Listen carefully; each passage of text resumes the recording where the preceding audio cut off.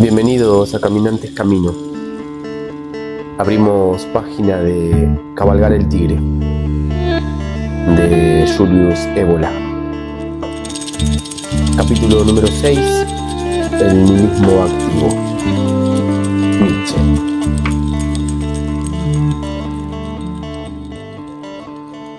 Después de esto, volvamos a los problemas que nos interesan directamente.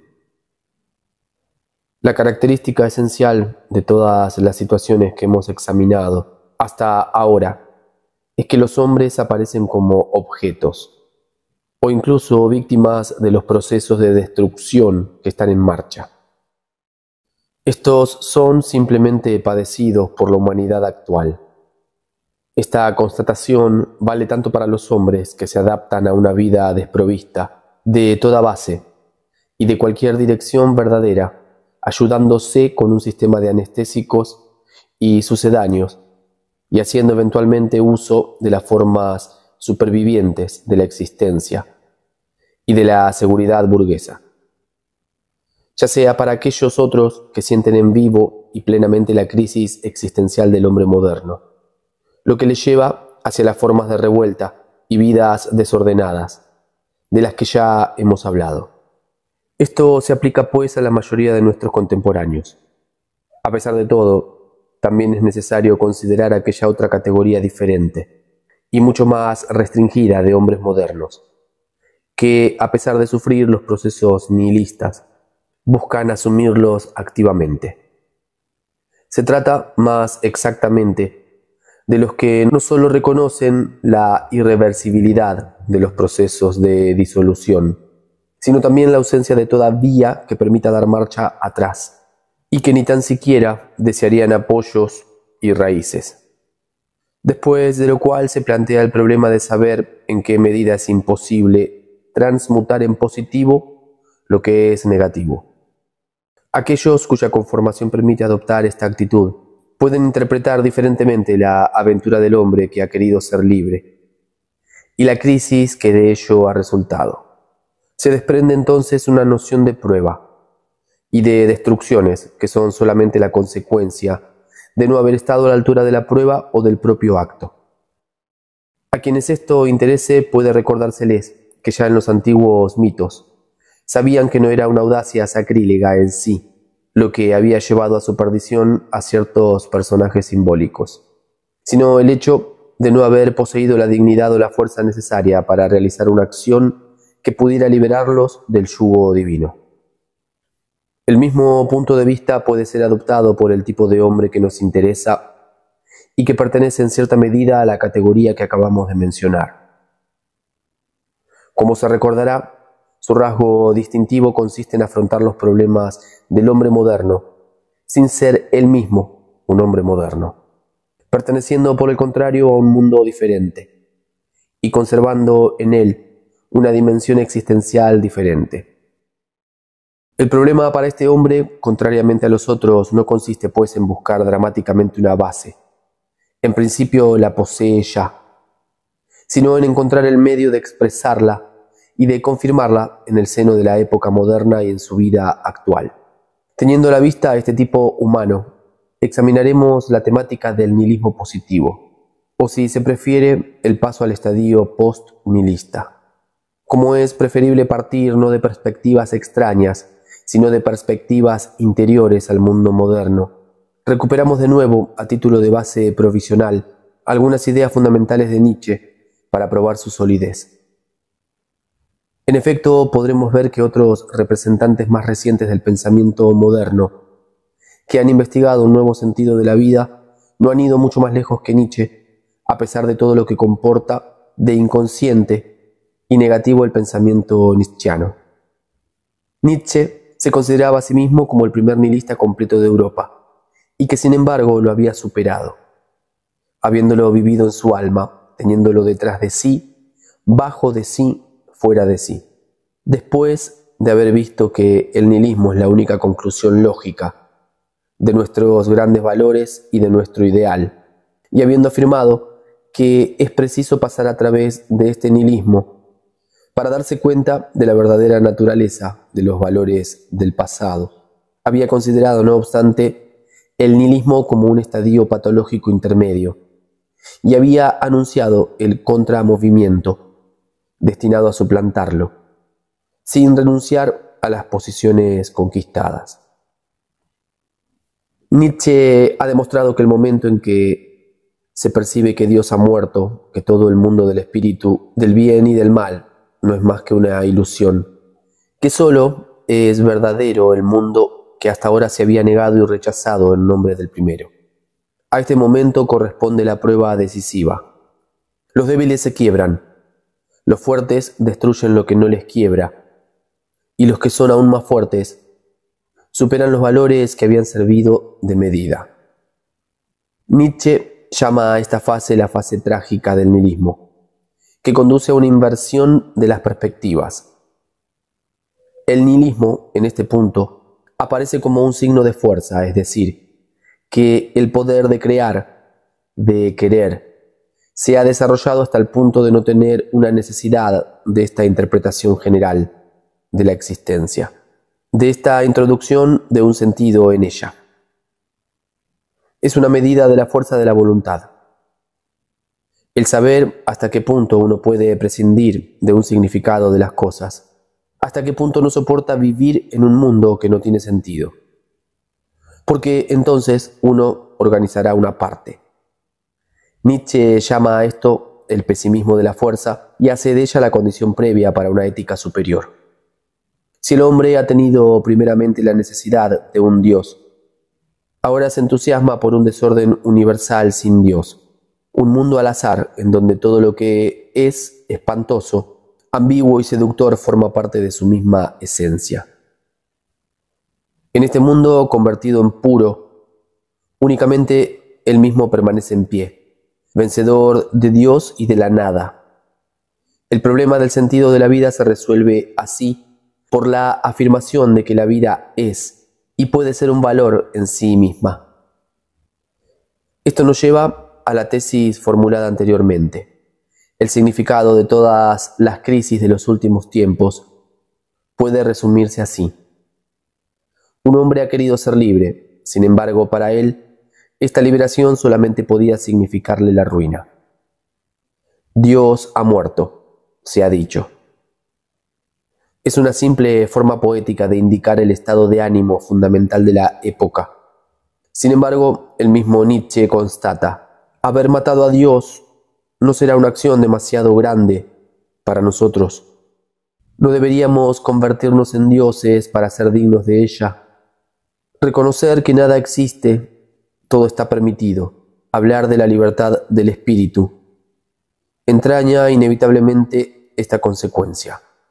Ahora es preciso que demostréis la nobleza de vuestra naturaleza. En un célebre fragmento del Zaratustra se expresa de una forma muy concisa la esencia misma de la crisis. Tú te dices libre, quiero conocer los pensamientos que predominan en ti. No es saber si has escapado a un yugo lo que importa. Tienes tú derecho a sustraerte a un yugo. Muchos son los hombres que pierden su último valor cuando cesan de servir. ¿Libre de qué? ¿Qué importa esto a Zaratustra? Tu mirada tranquila debe responderme. ¿Libre para hacer qué? Y Zaratustra advierte que lo terrible será estar solo, sin ninguna ley encima de uno mismo, con su propia libertad en un espacio desierto y un soplo helado, juez y vengador de su propia norma. Para quien no podía adquirir valor más que sirviendo, para aquel a quien los lazos no paralizaban, sino sostenían. La soledad tomará la forma de una maldición, el valor fallará, el orgullo inicial se plegará. Estos son sentimientos, continuará Zaratustra, que asaltan entonces al hombre libre, que no dejarán de matarlo, sino es éste quien los mata. He aquí descrito en términos precisos desde un punto de vista superior, el fondo esencial de la miseria del hombre moderno. Esto había sido ya expresado de forma análoga por Dostoyevsky. Es la doctrina de Kirillov. El encuadre es idéntico. El hombre no ha inventado a Dios más que con el fin de poder vivir sin matarse. Es en esto en lo que consiste la historia del mundo desde su origen hasta nuestros días. Dice Kirillov, la implicación es evidente. Es la necesidad para el hombre de tener un centro, un valor de base, no encontrándolo en sí mismo. Lo había situado fuera de él, lo había proyectado en Dios. Había supuesto que existía, sí, pero encarnado en otro. Y la fe en este otro había resuelto provisionalmente problemas existenciales. Naturalmente no reside aquí, como afirma Kirillov, el sentido de toda la historia de la humanidad. La implicación es evidente es la necesidad para el hombre de tener un centro, un valor de base. No encontrándolo en sí mismo, lo había situado fuera de él, lo había proyectado en Dios. Había supuesto que existía así, pero encarnado en otro. Y la fe en este otro había resuelto provisionalmente problemas existenciales. Naturalmente no reside aquí, como afirma Kirillov, el sentido de toda la historia de la humanidad es sólo el de su fase devocional de tipo deísta, que corresponde ya a una fisura del mundo de la tradición, y precede al punto crítico de la fractura metafísica de la que ya hemos hablado. El ojo de Kirillov, hombre libre, se abre. No quiero creer. Sé que Dios no existe y no puede existir. La consecuencia es, pues, si Dios no existe, yo soy Dios. Reconocer que no hay Dios es un absurdo, una inconsecuencia, pues de otra manera uno no dejaría de matarse. Puede dejarse de lado el suicidio, la idea fija de la locura de Kirillov, y puede hablarse simplemente de hundimiento, de desintegración, de extravío en el sinsentido. Esta situación hace nacer el terror y la angustia. Es como si un pobre, habiendo recibido una herencia, se asustase y no osara tomarla por estimarse indigno de poseerla. No es preciso tomar en serio el acto por el cual Kirillov cree poder hacer desaparecer el terror ante la herencia divina que debe asumir, demostrando al mismo tiempo su divinidad. Y se debe también separar esta forma enfática de hablar de Dios y de ser Dios. El verdadero problema que se plantea aquí es el del valor del hombre y del ser libre ¿Para qué? Nada mejor caracteriza el fracaso en la prueba crucial, el éxito negativo de la experiencia nihilista, que el sentimiento expresado por esta frase de Sartre. Estamos condenados a ser libres. El hombre hace suya la libertad absoluta, pero esta libertad no sabe sentirla más que como una condena. La angustia metafísica es la contrapartida. Más adelante examinaremos ampliamente los temas específicos del existencialismo. Por el momento es preciso ver lo que puede ser retenido de las opiniones expresadas por Nietzsche, no en tanto que nihilista, sino en tanto que pensaba haber superado el nihilismo e incluso haber cumplimentado la condición previa de una existencia más alta y de una nueva salud. Una vez más derribados los ídolos, una vez superados el bien y el mal, y todo lo que queda del antiguo Dios. Despejada la mirada, para Nietzsche no quedaría más que este mundo. La vida, el cuerpo. El hombre nuevo afirmará este mundo. La vida, el cuerpo, quedará fiel a la tierra, a lo que se añade, como se sabe, el tema del superhombre. Dios ha muerto, Ahora queremos que venga el superhombre. El superhombre será el sentido de la tierra, el justificador de la existencia. El hombre, puente y fin, cuerda atendida entre la bestia y el superhombre, cuerda atendida sobre el abismo.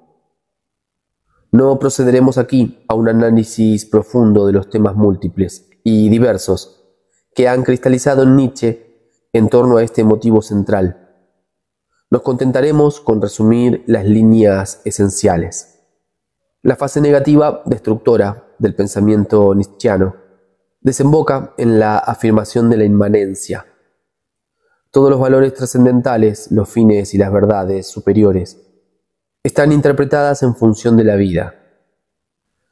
A su vez, la vida, y más generalmente la naturaleza, tendrán por esencia la voluntad de poder. Es también en función de la voluntad de poder y de dominio como se define al superhombre. Se ve, pues, que en realidad el nihilismo de Nietzsche se detiene a medio camino. Propone un nuevo sistema de valores que comportan un bien y un mal. Presenta un nuevo ideal y lo afirma de una manera absoluta, cuando no se trata en realidad más que de un ideal entre los muchos que pueden cobrar forma en la vida. No se justifican, pues, de ninguna manera en sí y para sí, sino implicando una elección particular, una creencia determinada. El hecho es que el punto sólido de referencia propuesto por Nietzsche está falto de un verdadero fundamento si solamente se basa en la inmanencia. Es un hecho que por otra parte aparece ya en la parte crítico-histórica y sociológica del sistema nietzscheano. Todo el mundo de los valores superiores está interpretado como reflejo de una decadencia. Pero al mismo tiempo Nietzsche ve también en estos valores los instrumentos, las armas de la voluntad de poder disfrazada que ha empleado una parte de la humanidad para subyugar a otra cuya visión e ideales eran próximos a los del superhombre. El instinto mismo de la decadencia se presenta, pues, como una variedad particular de la voluntad de poder.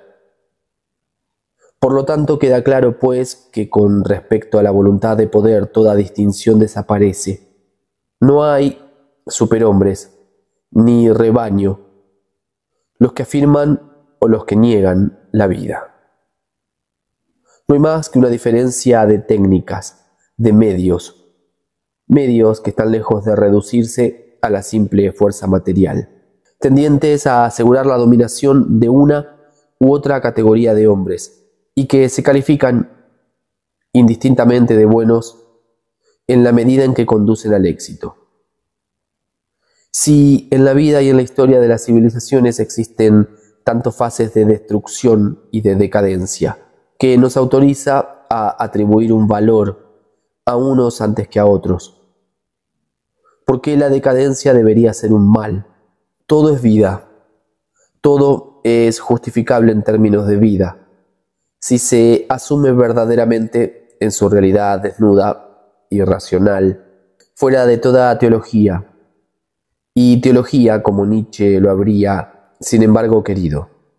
La misma antinaturaleza, la misma violencia contra la vida, forman ellas mismas parte de la vida y revierten a ella. Una vez más el suelo cede bajo sus pies. Además, Nietzsche, que había querido devolver al devenir su inocencia, liberándolo de todo finalismo, de toda intencionalidad, a fin de liberar al hombre y permitirle marchar sin apoyo. Nietzsche lo habría, sin embargo, querido. La misma antinaturaleza, la misma violencia contra la vida, forman ellas mismas parte de la vida y revierten a ella. Una vez más, el suelo cede bajo sus pies. Además, Nietzsche, que había querido devolver al devenir su inocencia, liberándolo de todo finalismo, de toda intencionalidad, a fin de liberar al hombre y permitirle marchar sin apoyo. Nietzsche, que había con razón criticado y atacado el evolucionismo, y al darwinismo, al constatar que las figuras y los tipos superiores no representan más que triunfos esporádicos, posiciones que la humanidad no alcanza más que para perderlas luego. Que no crea una continuidad, debido a que se trata de seres más expuestos que el resto de los peligros y a la destrucción. Nietzsche desemboca él mismo en una concepción finalista cuando, para dar un sentido a la humanidad actual, presenta como fin al cual ésta debe consagrarse y para el cual debe sacrificarse y perecer, el hipotético hombre futuro bajo la forma del superhombre. Mutatis mutandis. Esta forma de ver se parece bastante a la escatología marxista comunista, para lo que el espejo de lo que será la humanidad futura tras la revolución social justifica todo lo que se impone al hombre de hoy en los países dominados por esta ideología. Esto contradice pues abiertamente la exigencia de una vida que sea ella misma su propio sentido. El segundo punto es que la pura afirmación de la vida no coincide necesariamente ni con la afirmación de la voluntad de poder en sentido estricto y cualitativo, ni con la afirmación del superhombre. La solución de Nietzsche no es más que una pseudo solución. Un verdadero nihilismo ni siquiera dejaría a salvo a la doctrina del superhombre. Lo que puede retenerse más bien, si se quiere ser riguroso y quiere seguirse una línea estrictamente coherente que pueda enmarcarse en nuestra búsqueda. Es la idea expresada por Nietzsche en el mito del eterno retorno.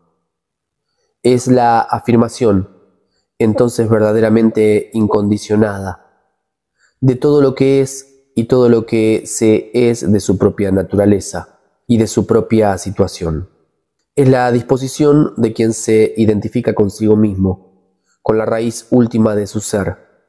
Se afirma a sí mismo, hasta el punto de ya no ser aterrorizado más, sino al contrario, exaltado por la perspectiva de un regreso indefinido de ciclos cósmicos idénticos, en virtud de los cuales él fue y volverá a ser lo que es innumerables veces. Naturalmente, no se trata de nada más que de un mito que solo tiene el valor pragmático de una prueba de fuerza. Pero eso también es una orientación que, en realidad, conduce más allá del mundo del devenir al carácter del ser. Es una prueba suprema de poder. Esto, en el fondo, lleva a una apertura más allá de la inmanencia unilateralmente concebida, a la sensación de que todas las cosas han sido bautizadas en el origen de la eternidad y por encima del bien y del mal. Se enseñaba lo mismo en el mundo de la tradición. Es indiscutible que la obra de Nietzsche expresa una sed confusa de eternidad, que llega incluso a provocar pasajeramente ciertas aperturas extáticas. Se conoce la invocación de Zaratustra a la alegría que quiere la eternidad de todas las cosas, una profunda eternidad, parecida al cierto en lo alto, puro, profundo, abismo de luz.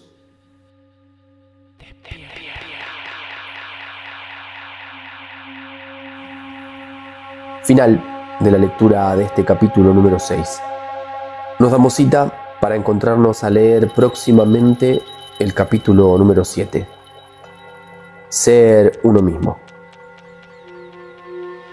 Un gran abrazo.